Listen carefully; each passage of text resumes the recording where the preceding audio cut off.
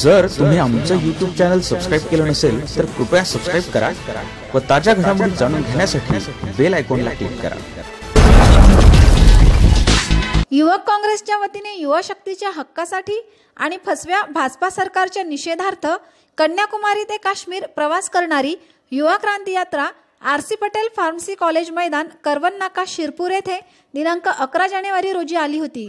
या युवक काँग्रेसच्या युवा क्रांती यात्रेस उत्तर महाराष्ट्र काँग्रेस प्रभारी वामसी चांद रेड्डी आमदार काशीराम पावरा उपनगराध्यक्ष भूपेशभाई पटेल यांच्यासह महाराष्ट्र प्रदेश युवक काँग्रेसचे प्रदेशाध्यक्ष सत्यजित तांबे महाराष्ट्र प्रदेश युवक काँग्रेस प्रभारी प्रतिभा रघुवंशी अखिल भारतीय युवक काँग्रेस राष्ट्रीय अध्यक्ष केशवचंद यादव अखिल भारतीय युवक काँग्रेस राष्ट्रीय उपाध्यक्ष बी व्ही श्रीनिवास अखिल भारतीय युवक काँग्रेस राष्ट्रीय सचिव कृष्ण अल्लवरू युवक काँग्रेस उत्तर महाराष्ट्र प्रभारी मनीष चौधरी काँग्रेसचे युवा नेते नगरसेवक तपनभाई पटेल प्रभाकरराव चव्हाण तसेच जिल्ह्याभरातील मान्यवर उपस्थित होते या कार्यक्रमात तपनभाई पटेल यांनी जोरदार भाषणाने उपस्थितांची मने जिंकली शिरपूर तालुक्यातील हजारोंच्या संख्येने लोक उपस्थित होते युवा क्रांती यात्रेचे मोठ्या उत्साहाने स्वागत करण्यात आले सबसे बड़ा सवाल मेरा ये है कि नौकरी कहाँ पे कौन से संस्थान में से गवर्नमेंट की कौन सी जगह में से,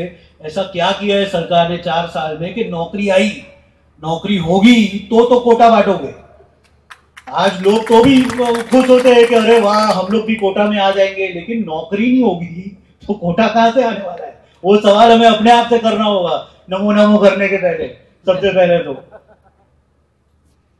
हमको उल्लू बनाने के लिए पैसा लगता है, पैसा तो है नहीं, पैसा कहाँ से लाए? तो आरबीआई के डायरेक्टर रघुराम राजन की ना सुन के उर्जित पटेल की ना सुन के एक और आदमी ने सोचा कि ये सब तो अक्कल बिना के वर्ल्ड बैंक में काम किया तो क्या हुआ? सब दुनिया भर की इकोनॉमिक्स पढ़ के बैठे तो क्या हुआ? अक्कल तो खाली हमारे अंदर है।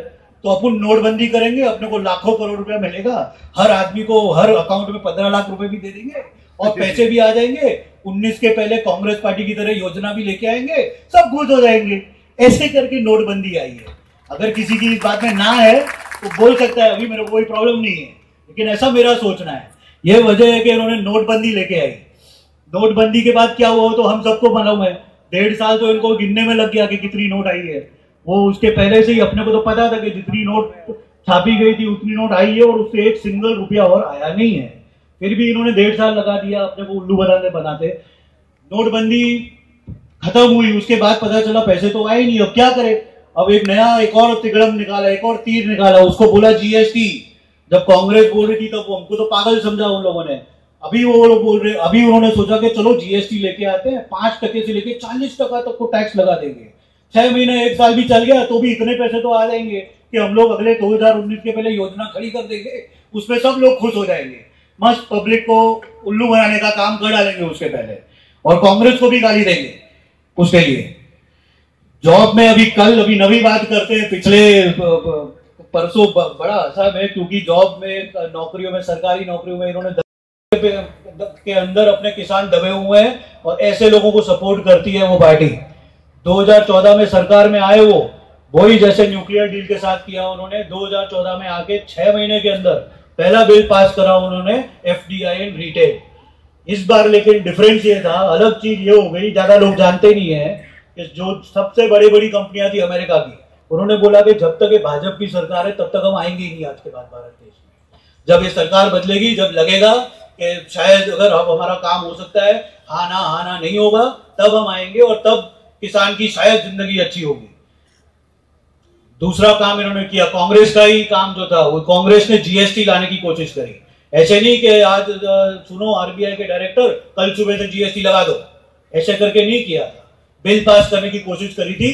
प्रक्रिया थी पूरी, छह महीना, एक साल गुजार के, अपनी बैंड बजा के, मेहनत कर करके इन्होंने जीएसटी का बिल टेबल करने की कोशिश करी। फिर से ये लोग रास्ते पे उतरे। फिर से इनके नेताओं ने लाठियाँ खाई फिर से इन्होंने पार्लियामेंट रोका और फिर से जीएसटी रोक दिया। काहे के लिए रोका, दो साल के बाद वापस लगा दिया उन्होंने। उसकी मैं वजह बाद में बताता हूँ आगे भाषण में कि उन्होंने क्यों ऐसे किया। पेट्रोल प्राइस की बात करिए आप, जब तिरसठ रुपए था, फिर से रास्ते पे उतरे। फिर से उन्हीं नेताओं ने गालियाँ खाई, लाठियाँ खाई, सब कुछ किया उन्होंने। तब उनको बड़ी गरीब गरीब सूझ रहे थे, सब स्लोगन बड़ी चल रही थी उन लोगों की। तो आपको सबको एक बड़ा फ़ेमस वीडियो स्मृति ईरानी जी का। लाठी खाते हुए या वैन में उनको पुलिस डाल रही थी अरेस्ट कर रही थी, ये सब के वीडियो पर बहुत सर्कुलेट होते हैं सोशल मीडिया के ऊपर।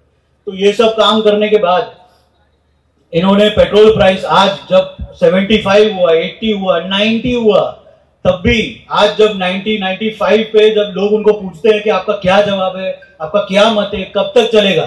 नमो नमो नमो नमो, एक ही जवाब आता है। मैंने तो आज तक और कोई जवाब नहीं सुना सरकार से कि क्या वजह है पेट्रोल प्राइस का ऊपर होने के लिए। वजह, इसकी भी वजह मैं बताऊँगा क्योंकि मैं जानता हूँ। नोटबंदी लाए ये लोग। पचासों बातें, लेकिन अभी थोड़ी बहुत बोल रहा हूँ मैं। नोटबंदी लाए ये लोग। नोटबंदी से बड़ा मज़ाक अपनी जनता के साथ, अपनी ज़िंदगी में देखा नहीं है मैंने। और मैं तो बहुत नया हूँ। कोई बहुत बड़ा राजकर्मी बना नहीं हूँ अभी तक, लेकिन इंसान तो हूँ पब्लिक में तो रहता हूँ। ये क्या था साला मेरे को समझ में नहीं खाया मतलब। क्या थी ये नोटबंदी काय के लिए थी मतलब? जो कांग्रेस पार्टी को तुम गालियाँ दे रहे थे कि साला ये लोग खाली योजना खड़ी करते हैं, योजनाओं में ये लोग जीवन बिताने वाले हैं, कुछ काम के है नहीं। वही योजना मैं बता रहा हूँ आपको, यही योजना इन लोगों को ये 2019 के लिए। इतने सालों में अगर आप पूछेंगे, अगर इस ग्राउंड में बैठ के या इस स्कूल में से निकल के या रास्ते के ऊपर कंक्रीट रास्ते पे चल के या अपने घर में शुद्ध पानी से नहा धो के पानी पी के निकलने के बाद अगर आपको पूछना है कि आज तक कांग्रेस पार्टी या अमरीश भाई ने यहाँ पे क्या किया है तो आपको डूब मरना चाहिए। सिंपल और सीधी बात वही है। उसके मन में ये सवाल है, वो सुसाइड कर ले, कोई प्रॉब्लम नहीं है। मैं मैं मदद करूँगा सुसाइड करने को। लेकिन वो कर लो आप, क्योंकि अगर आपके मन में ये सवाल है तो आपको डूब मरना चाहिए। क्योंकि अमरीश भाई ने पैंतीस साल में पचासों बार बोल चुका हूँ मैं, और मेरी मजबूरी है कि साला फिर से मुझे वही की वही बातें करनी पड़ रही है। पचास के पैंतीस साल से अमरीश भाई ने अपना खून पसीना परिवार छोड़ के यहाँ पे लगाया हुआ है। पहले जब आए थे पिछयासी में तो पुराने लोग आपको बोलेंगे, अगर वक्त हो तो अपने पिताजी माता जी दादा दादी से पूछ सकते हैं कि तब क्या हालात हुआ करते थे। हमने तो सुना है, मैं तो पाँच साल का था उस वक्त सुना मैंने ये कि रस्ते में खड्डे होते थे, खड्डों में से पानी ले लेके लोग घर में ले जाते थे। ये सब सुना है मैंने। आदिवासी विभाग तो छह महीना सिरपुर शहर से टच में नहीं रहता था। सबसे पहला काम अमरीश भाई ने ये किया है और ध्यान से सुनिए क्योंकि अंधाधुन बकवास करके, कुछ करके काम नहीं होते हैं। काम जैसे अमरीश भाई ने किए, सोच समझकर अक्कल दौड़ा के किए और पैसे लगा के किए हैं। काम उस तरह से होते हैं। क्योंकि तो सबसे पहला काम उन्होंने किया कि आदिवासी पट्टे को बाकी तालुके से जोड़ा जाए। कैसे जोड़ेंगे उसको? उसके लिए रोड और पुल बांधने पड़ेंगे, ताकि आरोग्य की सर्विस पहुँचे उन लोग के तक। हम स्कूल बना सकते हैं वहाँ पे, या वहाँ से लोग अंदर बाहर आना जाना कर सकते हैं। ज़िंदगी भर क्या जंगल में ही रखना है अपने लोगों को, अपने को। वो अपने को नहीं करना था। पहला काम अमरीश भाई ने किया, दस साल लगे उनको। हर एक तालुके के हर एक खेड़े पाड़े को, हर एक खेड़े पाड़े को कोई भी हालत में डामर के रास्ते से कनेक्ट किया उन्होंने। पच्चीस पच्चीस लोगों के खेड़े के लिए भी करोड़ों रुपया लगा के उन्होंने रस्ता बनवाया उस टाइम पे। वक्त लग। तर किमान पंचवीस हजार युवकांना रोखणी मिळाली असती पंचवीस हजार युवकांना. परंतु आपले केंद्रीय राज्यमंत्री आपले खासदार त्यावेळेस त्यांच्या ते लक्षातच आलं नाही. कारण त्यांना तिथं कोणी विचारतच नाही. नरेंद्र मोदी त्याच्याखाली सगळे नरेंद्र मोदी. पक्षामध्ये अमित शहा त्यांच्या खाली सगळे अमित शहा. कारण लोकशाही मानणारा इथं पक्ष नाही. तो जो पक्ष आहे भारतीय जनता पार्टी आणि ते जे पंतप्रधान आहे नरेंद्र मोदी हे हुकुमशाही पद्धतीचे आहे परवा तुम्ही सोलापूर मधली घटना पाहिली असेल सोलापूरमध्ये युवक काँग्रेसचे कार्यकर्त्यांनी नरेंद्र मोदींच्या ताफ्याला काळे झेंडे लावले दाखवले. म्हणून युवक काँग्रेसच्या कार्यकर्त्यांना पोलिसांनी बेदाम मारहाण केली. आम्ही या घटनेचा निषेध करतो. आणि या राज्य शासनाला आणि या केंद्रीय शासनाला मला आजच्या या सभेच्या निमित्ताने सांगायचं आहे का युवक काँग्रेसच्या कार्यकर्त्याला लोकशाही मार्गाने आंदोलन करत असताना जर तुम्ही लाथाबुक्याने मारणार असाल जर तुम्ही त्याला बेधाम मारण करणार असाल जर तुम्ही त्याची पिळवणूक करण्याचं काम करणार असाल तर ही हुकुमशाही पद्धत या ठिकाणी युवक काँग्रेसचा कार्यकर्ता कदापि सहन करणार नाही. आणि एक गोष्ट या पोलिसांना देखील मला या निमित्ताने सांगायची आहे की पुढच्या सहा महिन्यामध्ये काँग्रेसचं सरकार या राज्यामध्ये देशामध्ये येणार आहे. बाबा हो या भाजपवाल्यांचं ऐकून कृपा करून आमच्या कार्यकर्त्याला त्रास द्यायची चूक करू नका. भाजपवाल्याचं ऐकून आमच्या कार्यकर्त्याला त्रास द्यायची चूक करू नका नाहीतर अन्यथा पुढच्या सहा महिन्यांनी जेव्हा सरकार येणार आहे हे कोणतेही भाजपवाले तुमच्या पाठीशी उभे राहणार नाही ते तुमची कधी त्या ठिकाणी खंबीरपणाने पाठराखण करणार नाही कारण हे कोणाचेच नाही. आणि म्हणून पोलीस बांधवांना देखील माझी नम्र विनंती आहे की कृपा करून या भाजपच्या पुढाऱ्यांच्या तुम्ही दबावामध्ये येऊ नका. मित्रांनो शेतकऱ्याच्या आत्महत्याच्या बाबतीत यात्रा सुरू केलेली आहे ती म्हणजे मागच्या पाच वर्षामध्ये नरेंद्र मोदी नावाचं एक सरकार या ठिकाणी देशामध्ये आलं. दोन हजार चौदाला ज्यावेळेस निवडणुकीचं मतदान होतं त्यावेळेस आपल्यातले अनेक जण पहिल्यांदा मतदान करत असतील. अनेक लोकांनी पहिल्यांदा मतदान केलं होतं. देशामध्ये साठ सत्तर वर्ष झाले काँग्रेसची सत्ता होती. काँग्रेसचे दहा दहा वर्ष झाले मंत्री फिरत होते. आणि त्याच्यामुळे कुठंतरी आमच्यामध्ये एक अति आत्मविश्वास आला होता. कुठंतरी खोटे नाटे भ्रष्टाचाराचे आरोप आमच्यावर टू जी आणि राफेल टू जीच्या आणि याच्या बाबतीमध्ये आले. ते खोटे नाटे आरोप त्या ठिकाणी मागच्या साडेचार पाच वर्षामध्ये एकही आरोप या ठिकाणी भारतीय जनता पार्टी आणि नरेंद्र मोदी सरकार सिद्ध करू शकलं नाही. आणि या सगळ्या चुकांमुळे दोन हजार चौदाच्या निवडणुकीमध्ये आपला पराभव झाला. या धुळे जिल्ह्याची धुळे लोकसभा धुळे लोकसभेची देखील सीट आपण हरलो. शेजारच्या नंदुरबार लोकसभेची सीट देखील आपण हरलो.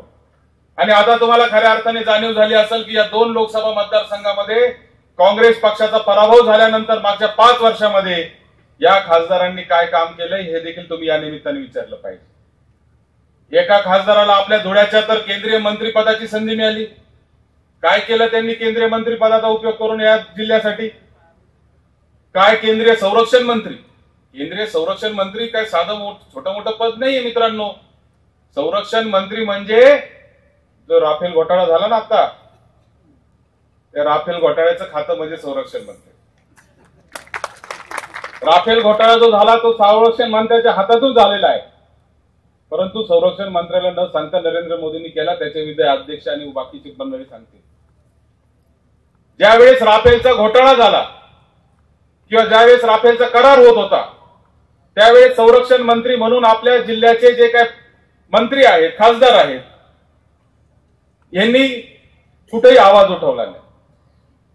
कारण हा राफेलचा करार जो नरे अनिल अंबानींसोबत झाला हा राफेलचा करार जर एच एल कंपनीच्या सोबत झाला असता तर आपल्या ओझर बिगला नाशिक जिल्ह्यामध्ये जी एच ची फॅक्टरी आहे तिथं राफेलचे विमान तयार झाले असते.